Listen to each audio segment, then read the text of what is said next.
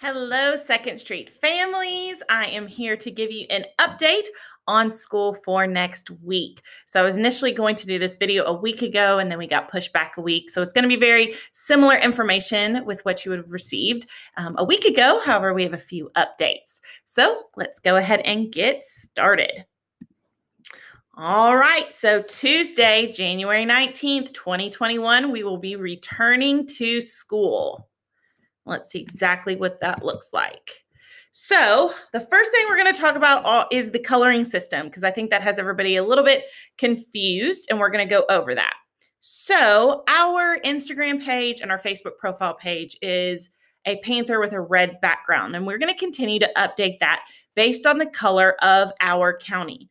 And if I flip over here, this is the website that we have been referencing throughout this entire process. This is something the state has put together that shows what is happening in every county and how many cases per 100,000 is populating how you get to red or orange, yellow, and green.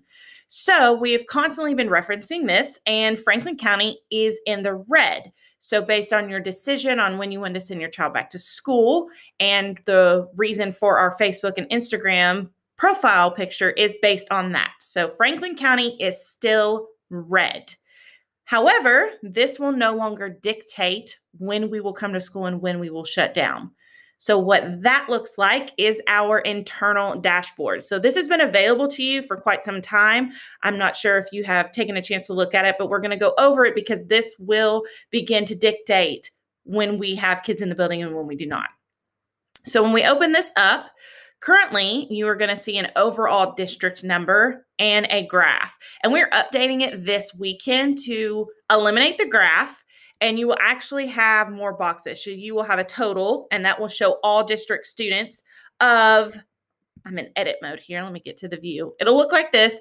It will have a few boxes. It will have district and then it will have Frankfort High. It will have Second Street kindergarten or I'm sorry, preschool through fourth, fifth grade, and then it will have Second Street, sixth grade through eighth grade. So we are breaking it up middle school and elementary school and Frankfort High. So that will be updated by Tuesday. So as you can see currently today, we have 34 district wide students in quarantine. That does not mean that they are positive. That means that they are they were in contact with a positive person, so they are currently in quarantine. We have four students that are positive. We have one staff as positive and 10 staff that have been in quarantine. Please also note that this represents the last 10 days. So, why that is important is this is going to update, and it is especially important for Tuesday because as of Tuesday, Second Street School will have no positive staff, no staff in quarantine, and we only have three students in quarantine. We do not have any positive students.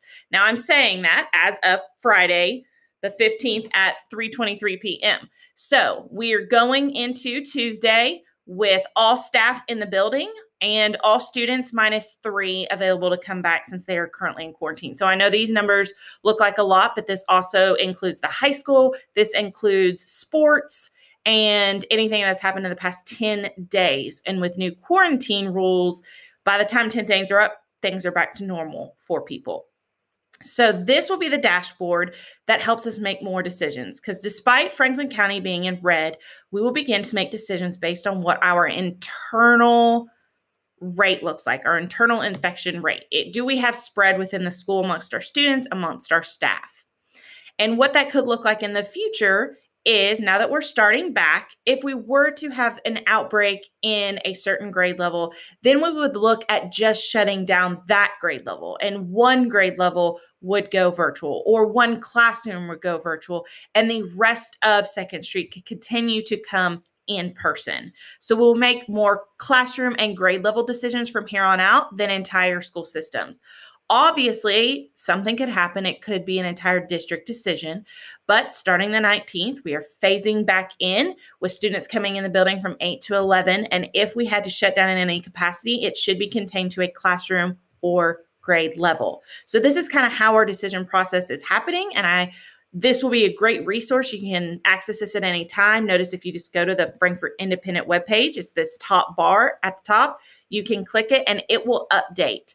So we already have the information updated. However, since we are changing the platform of what this looks like, you won't see the new platform until possibly as early as tomorrow, but definitely by Tuesday. And it will be broken down by Second Street Elementary, Second Street Middle, and Frankfort High. And then, of course, the overall district. So that will give you a better idea of exactly what's happening in our schools, not just in the county, and why we're making the decisions.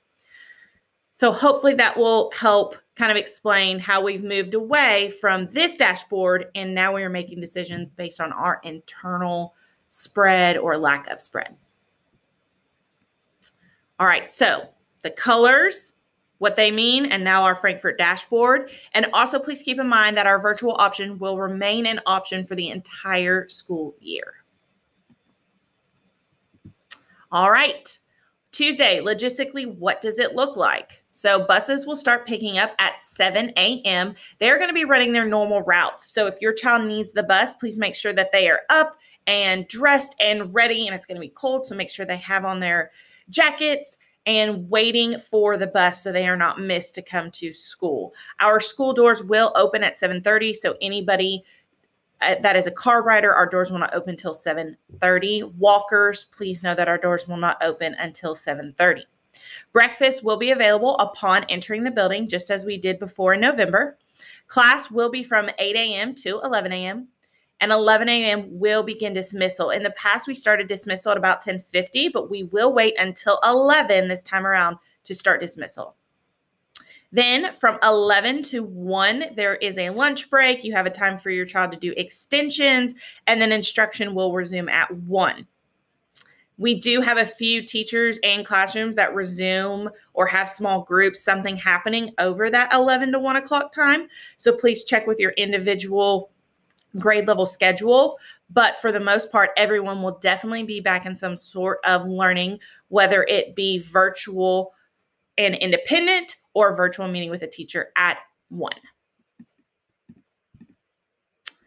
All right, let's talk about food. So, we already talked about breakfast and that being available upon entering the building. Please note too that breakfast will be eaten in the classroom and six feet will remain. If six feet cannot occur for some reason, then we will have kids uh, make sure that they are six feet at all times. That's a non negotiable for breakfast because masks have to be down and we will set a timer. So, six feet non negotiable for students eating breakfast in the building. Lunch will be given to students as they leave the building every day that they are here. So, Monday, Tuesday, Thursday, Friday. We are not in school on Monday, which is why it is red. So, this will only occur on Tuesday, Thursday, Friday. Any other week, they will get it four days a week leaving the building. They will walk out on Tuesday with Wednesday's lunch in hand. On Wednesdays, our food service director will be delivering uh, food door to door. For those that have signed up, her cell phone number is there, and anyone is eligible that is 18 or under in the household. And this will be a five day meal kit. Once again, all virtual students will pick up their lunch at school from 11:30 to 12:15. Technically, usually this would happen on Monday. However, this week, this coming week, since we do not have school on Monday, we will um, have that available for pickup on Tuesday and that will be a five day meal kit. So you only come once a week if you are virtual to pick up lunch. All right, the last piece, and one of the most important pieces are COVID protocols. Masks are mandatory, plain and simple. Um, I prohibit any type of suckers or anything that would allow a mask to be down for any length of time except to just get a sip of water. So masks need to be up and worn appropriately over the mouth and nose at all times. If that is not happening, then a child will be asked to fix their mask. And if it becomes an issue in any way and it is something that can not happen, even though we have requested to do so, then we would be calling home at that time. Breakfast, once again, reiterating that we will be six feet apart at breakfast. It will happen in the classroom and we will set a 10 minute timer. We do not want our students being unmasked any longer than 10 minutes. They will eat their breakfast and they will continue about their day. Please know how important it is that if you are positive, anyone in the household is positive, student, of course, is positive, that we have to know that information. If you are associated with our school district and you have kids or family members coming in and out of these buildings, then we have to know in order to keep everyone safe. So, in order to notify us of someone in the household being positive or being a contact of a positive person, please call our COVID hotline at 502 234 4843. You can also send us an email at COVID at frankfort.kyschools.us. It is Kentucky law that we are notified about students, and of course, that we ask you to inform us of any parents or anyone else in the household because it is so vital to keep everyone safe and for us to document those numbers and to do proper contact tracing in order to keep the spread to a minimum. So, this is the information for next week. We are so excited to get kids back in the building. It has been quite some time. We've had some small targeted groups, but nothing to the extent that we're about to see next week. So, we are very excited and we hope everyone has a wonderful three day weekend. And we will see you on Tuesday, January 19th. Have a great one.